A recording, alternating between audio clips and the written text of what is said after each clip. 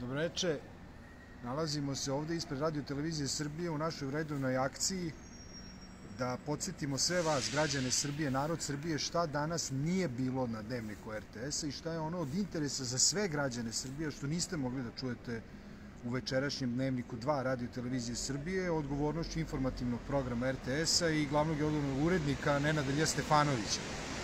Dakle, potpuno je neverovatno da i dalje se prate aktivnosti države u borbi protiv COVID-19, to je koronavirusa.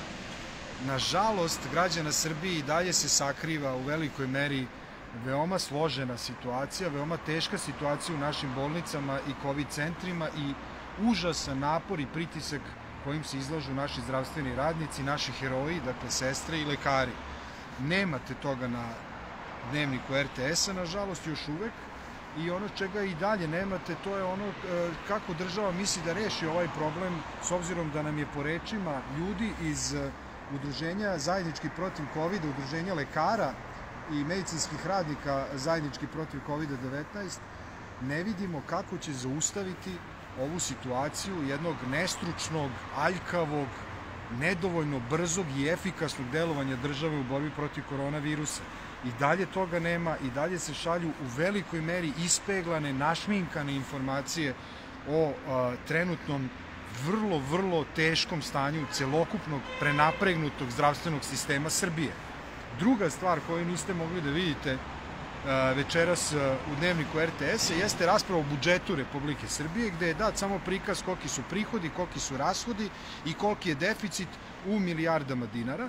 Dakle, jedan numerički prikaz, izjava ministra Siniše Malog i to je to. Ono što, poštovani građani, niste mogli da vidite, nažalost, na drugom dnevniku RTS-a, jeste da je u momentu rasprave 205 poslanika režima Srpske napredne stranke, uglavnom, jel, SPS-a, su pričali gotovo isključivo o Draganu Đilasu, o opoziciji, pljuvali, iznosili strašne laži, stravične neistine, apsolutno, potpuno, totalno van dnevnog reda.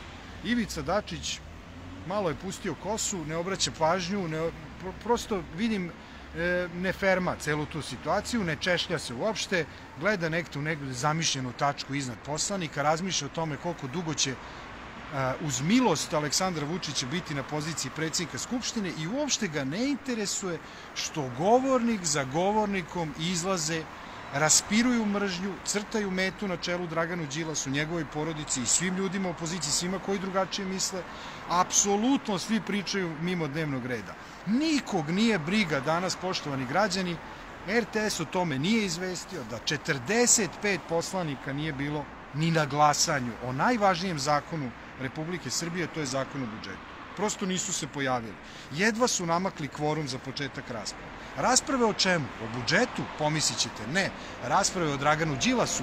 Ponovo progon, blaćenje, laži i sve ostalo. Za osam dugih godina naprednjačke strahovlade, uništavanja Srbije, pravljenje u Srbiji jedne ledine, nijedna krivična prijava, nijedna optužnica, nijedan proces nije pokrenut protiv Dragana Đilasa. Zašto? Zato što to ne postoji o čemu oni pričaju. I to odgovorno tvrdim, gledam sada u vas i to vam govorim.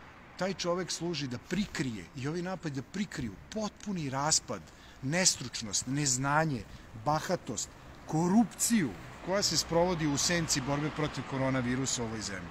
Da prikriju sve one brljotine i užase koje vi vidite, nažalost, na svakom koraku.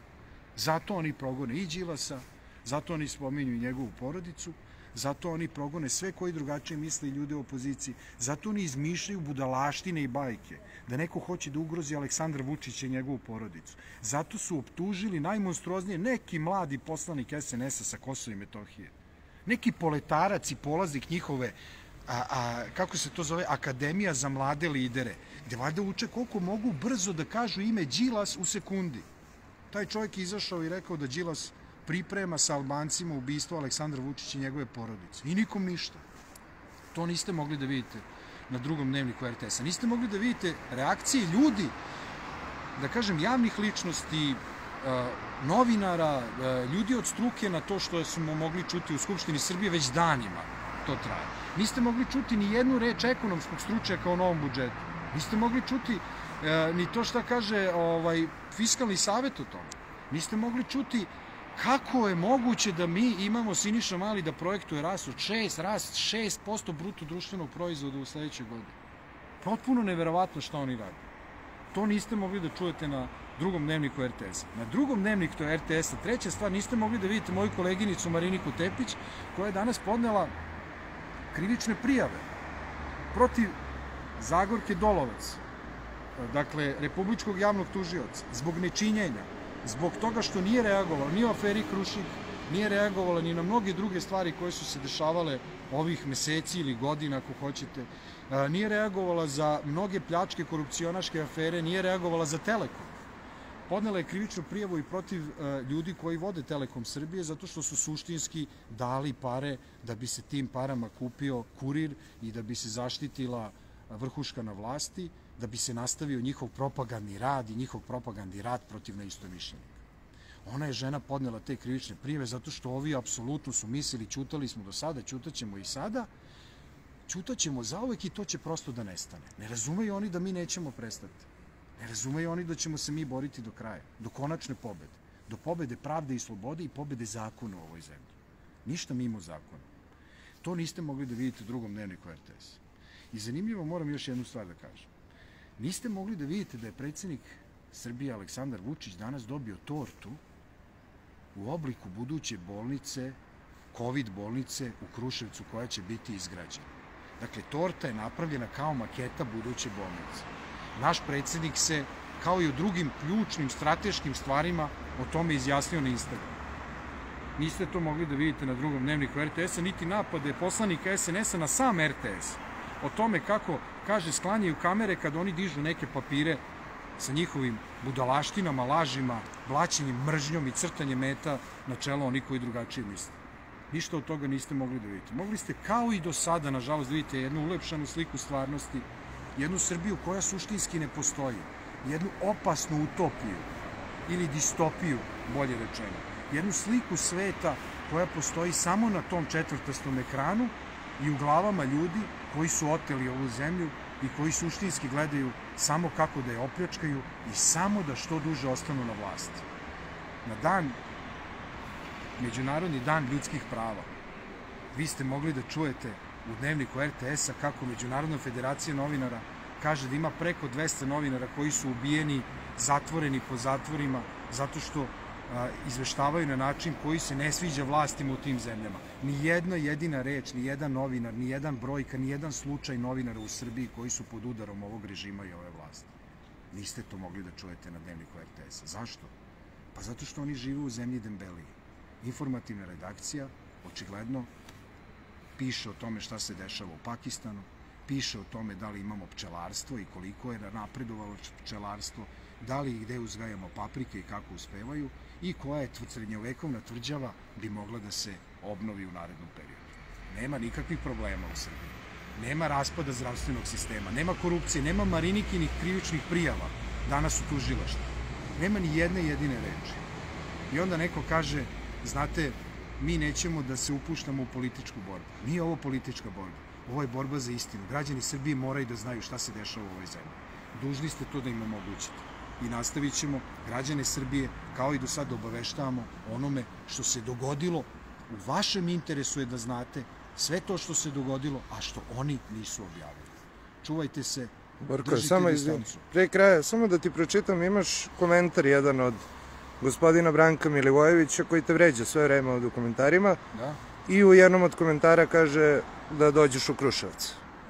Pa dobro, e sad, da. verovatno je to aluzija na... Da, pa taj Branko Milivojević a, i drugi njemu slični a, vole da prete, stalno dobijam pri, slične pretnje i aluzije na Kruševac. Branko, ne želim ti nikada ni tebi, niti bilo kom tvom da se desi ono što se desilo meni i mojim prijateljima, stranačkim drugovima, da te neko pokuša ubiti tako što te napadne sa leđa kukavički, kako samo oni to i znaju da rade. A u Kruševac sam dolazio i dolazit ću i zbog toga što se desilo i taj grad će biti slobodan na kraju i ti Branko ćeš to videti i verovatno ćeš tada da trčkaraš okolo i da, da, da govoriš kako ti nikada nisi bio za ovo. Ti si uvek u stvari znao šta se u ovoj zemlji dešava, ali nisi ti taj Branko, ti si neki drugi Branko. Ja ti kažem, ta sloboda neće biti samo moja. biće i tvoja, biće i sloboda svih građana, jer nećemo više dozvoliti podele, nećemo više to cepanje na jedne i druge. Sve su to napravili ljudi iz ove vlasti. I to što ti sada nasrćeš na mene, pljuješ me i lažeš, i verovatno tu pišeš da sam se polio kečapom ili da sam zapeo pa udario glavu ili da je bio neki sukob privatne prirode. Ljudi koje nikad u životu nisam vidio koji su poslati da nas ubiju. Ali vi pravite šale sa tim. Ali to je ništa naspram onoga što radite Draganu Đilasu i njegovoj porodici i drugim ljudima iz opozicije svakodnevno i ljudima širom Srbije koji se drznu da kažu nešto protiv ovog režima ili da ga kritikuju, koje ostavljate bez posla i bacate na ulicu. Mislite da to se neće zaustaviti? Cela stvar je krenula u pravcu promene i te promene više ništa i niko neće moći da zaustavi. I za to ćemo se izboriti zajedno. Ostanite zdravi, čuvajte distancu i nemojte biti Branko, budite ljudi koji vole i ljube slobodu